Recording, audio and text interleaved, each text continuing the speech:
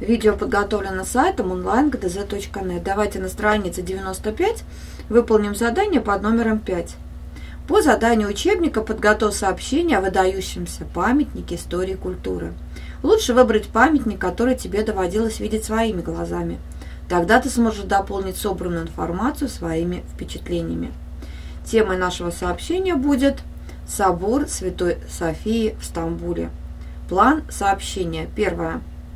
Строительство первой постройки 324-337 годах нашей эры. Императором Константином. Второе. Византийская история базилики Святой Софии. Третье. Османское завоевание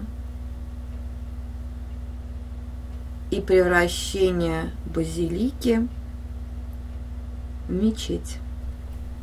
Источник или источники информации. Интернет-сайты. Энциклопедия. Здесь ты можешь наклеить, выполнить рисунок по своим впечатлениям или наклеить фотографию.